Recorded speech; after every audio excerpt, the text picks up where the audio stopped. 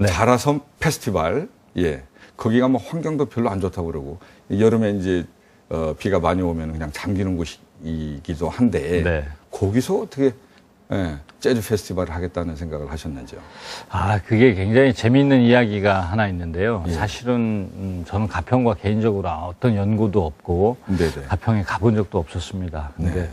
어, 그 2003년도에 제가 어디 강의를 아, 그것도 제 강의도 아니고 친구가 하는 강의였는데 그날 개인적으로 일이 있어서 네. 제가 대신 강의를 갔는데 어허. 그때 강의를 들었었던 분 중에 한 분이 이제 그 당시에 가평 군청에 문화관광과에 근무하는 말단 공무원이 한 분 계셨어요. 네네네네. 그래서 제가 그분하고 이제 아, 그 강의 끝나고 나서 한 두어 달 지났는데 그분이 저한테 전화를 해서 그 페스티벌에 대해서 물어보시더라고요. 네. 그래서 그게 어, 막 가평에 제가 방문을 해서 만나게 되고 그다음에 만약에 그 가평과 연- 인연이 돼서 한다면 어디서 하면 좋을지를 여기저기 이제 다니면서 저한테 보여주셨는데 네.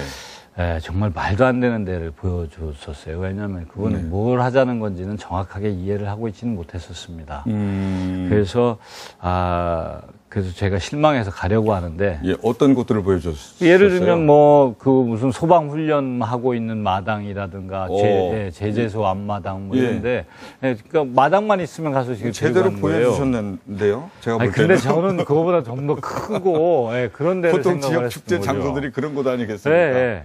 어디 군단 이 변단이 네, 가보게 근데 저는 되면은. 재즈 페스티벌 하면서 아, 한다면 뭐 제가 머릿속에 생각했었던 그런 그림들에 맞는 이게 그때 당시에도 그 군의 직원분이 어, 재즈 페스티벌 장소로 어, 생각을 하면서 소개를 해줬던 겁니까? 그렇죠. 근데 어, 나중에 제가 어, 이제 마지막에 가려고 재즈가 뭔지를 잘 모르시는 분이었던 그 거예요. 실망해서 가려고 하는데 이제 예. 데리고 간 데가 마지막으로 보여드립니다 하면서 간 데가 이제 자라서 큰 것만. 찾으시니까 그러면 거기서 될까 했던 모양이죠. 그분 네. 입장에서는 전혀 뭐 가능성이 없는 네, 것으로 왜냐하면 생각하면서도 저한테 가서 처음으로 한 이야기가 아 근데 여기 비 오면 가라앉아요라는 이야기를 저한테 네, 네. 했거든요. 예. 근데 제가 얼떨결에 와 여기 너무 멋지다라고 이제 말을 하게 된 아. 거죠. 그 그런 생각이 들던가요, 당시에? 네, 실제로 그 자연 경관이 아주 아름답고요. 예, 예, 예. 그다음에 아, 할 수 있겠다는 생각을 하셨던 네, 거예요? 저는 그런 생각이 예, 갑자기 이렇게 확 들었습니다. 오. 네. 왜냐하면 네. 제가 이와 유사한 사례를 이제 해외에서 음. 어, 핀란드에서 제가 이걸 본 적이 있어요. 네, 네. 그래서 이 사례를 제가 보고 그 축제를 이제 핀란드에 갔었는데 그때 보니까 메인 스테이지가 섬에서 네. 어, 축제를 하고 있는데 66년도에 네. 그 축제가 처음 시작됐는데 그때 사람들이 그 섬에 막 배를 타고 가서 축제를 음. 즐기고 오고 뭐 음. 이런 이야기를 듣고 음, 네. 어, 나름대로 상당히 충격을 제가 받았었죠. 예, 예.